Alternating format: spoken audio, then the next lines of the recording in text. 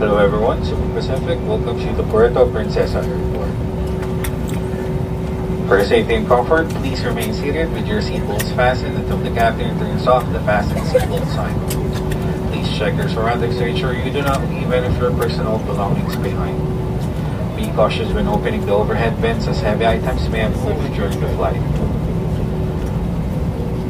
On behalf of your entire Cebu Pacific team headed by our flight deck crew, Captain Valencia and First Officer Gonzalez, together with your cabin crew, we thank you for making Cebu Pacific a part of your important moments. Hi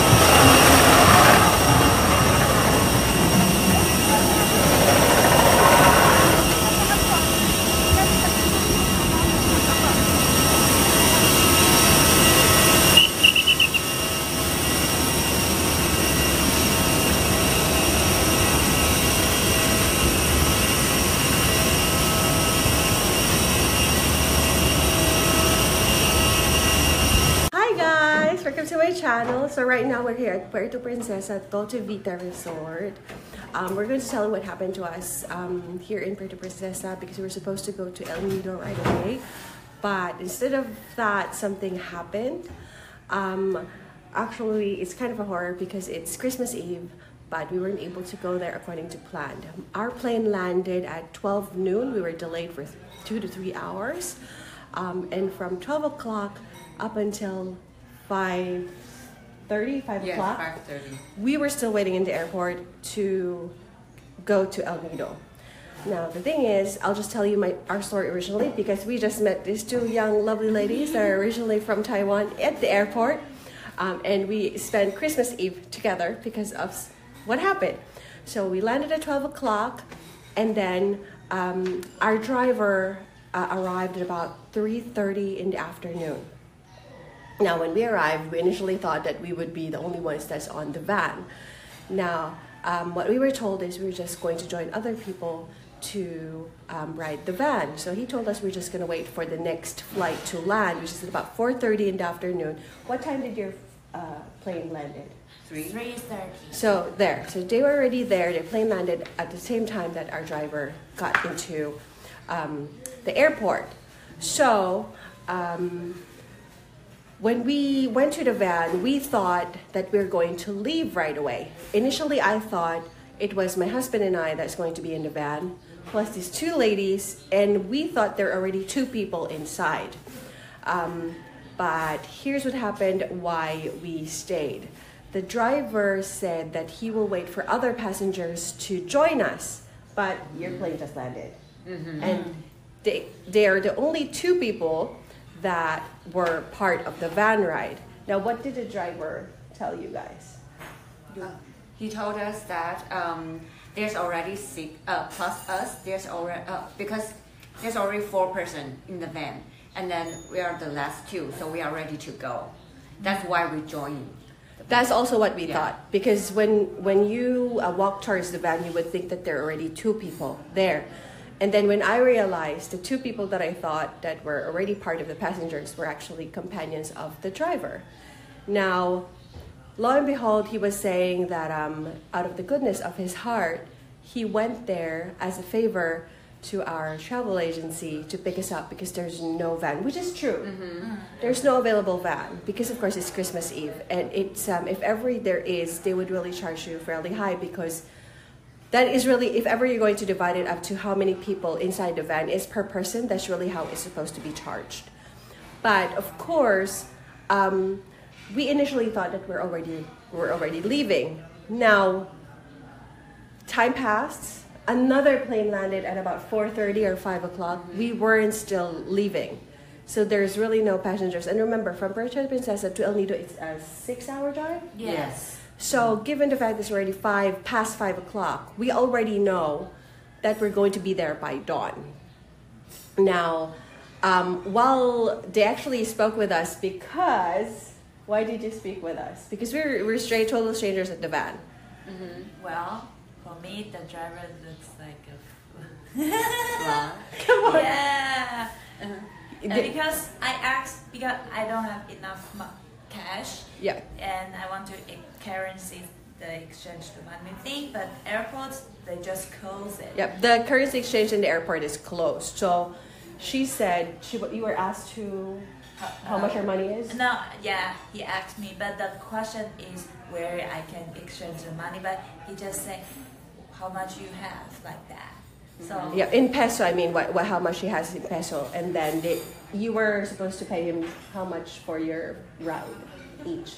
seven hundred. 700 which is actually the correct amount if ever because the standard rate is 500 they said but since it's you know holiday season it's it's very in demand it's 700 pesos now i'm 700 to 800 pesos that's Yes. that's pretty much the ceiling already per mm-hmm. person now you were told that you were going to find for a currency exchange but But the char- uh, the driver said that they are going to charge us more, like more mon- Gasoline. gasoline for the gasoline because they're going to we're going to look for a currency exchange which is open on Christmas Eve.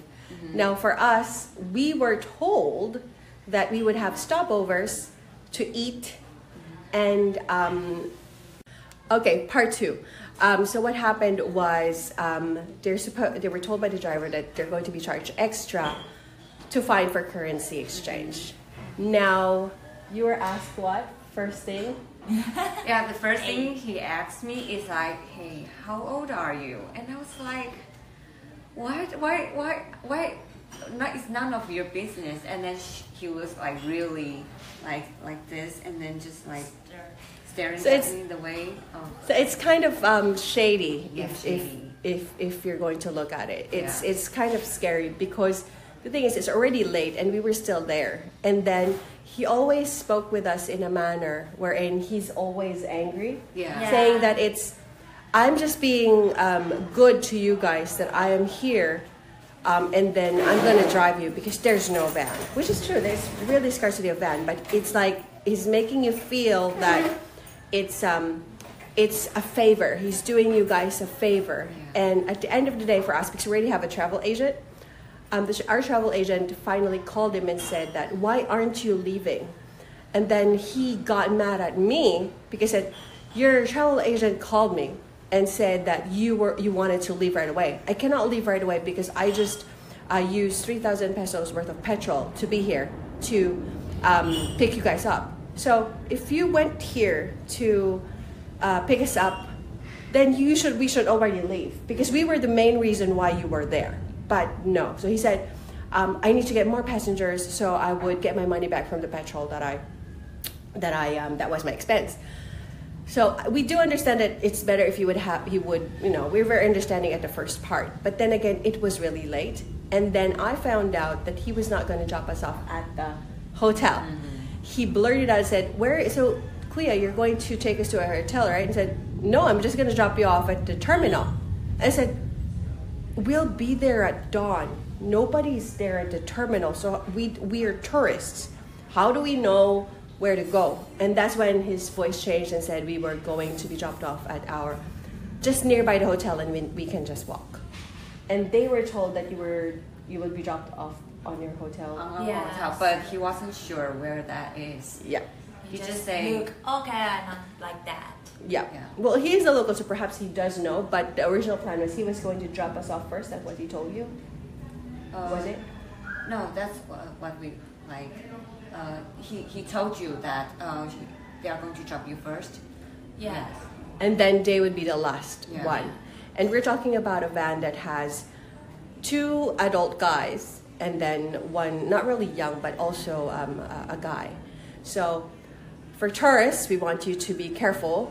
Um, his name starts with. Can you describe how who he is? Like short, fat guy and then start with D. Yes.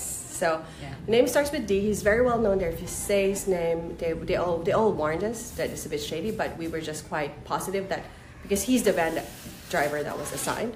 So we initially thought it was good, and then our agency also called him and said that your van driver is crazy because he's now mad at us, and then he actually asked us to leave the van. And when we left the van, good thing these people went with us because um, if ever they stay, we don't even know if they're going to reach El Nido at uh, a decent time or if ever they will because it's, it's already dark, guys. It's Christmas Eve. You're, you're going to expect that during Christmas, people would be more polite, but first, whatever happened to us prior to the eve or let's say midnight, it was really bad. So we would like to warn you guys to be very aware of who would be picking you up and the terms of how you would be leaving. Now I do have a couple of minutes more, so I'll stop this video and then live for part three. Okay. Part three. So this is just to wrap things up. As I mentioned earlier in the part two, make sure that you know um, you have a travel agent um, that would arrange for your travel, your hotel if it's possible. That would arrange it. Now, um, if ever you're going to go DIY, make sure that you know that the regular fare, if not if not if it's not peak if it's not peak time, it's 500 pesos but it can um, range from 500 to 800 pesos per person for the van. And they would have 10 passengers on the van. So be mindful of that if ever you're going to go DIY.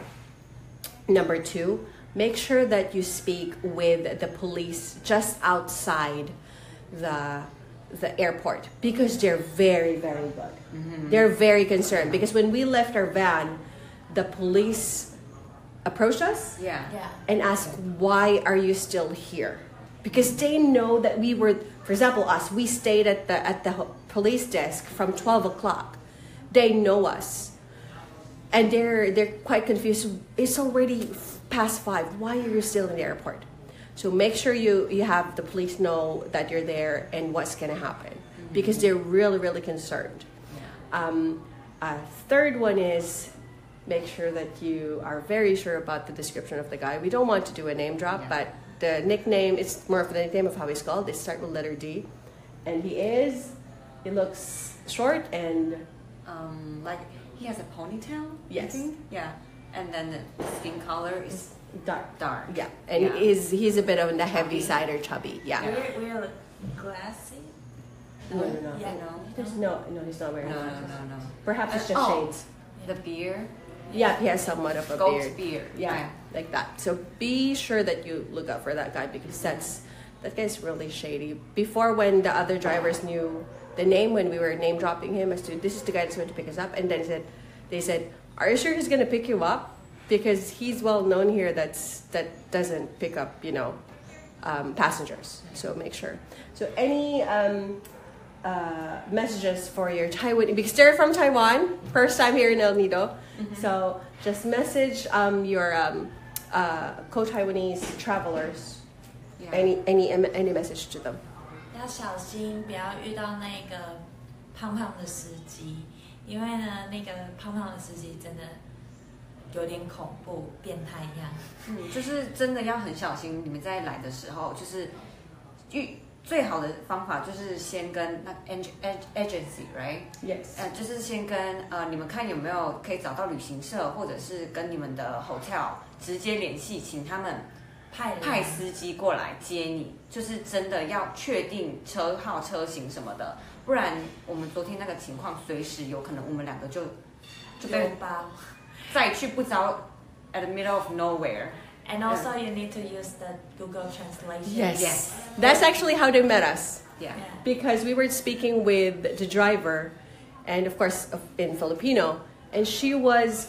um, concerned or curious to what we were talking about. We were talking differently. We're not Yes, friendly. We were not friendly with the driver. So she did Google Translate. She eavesdropped on what we were talking about.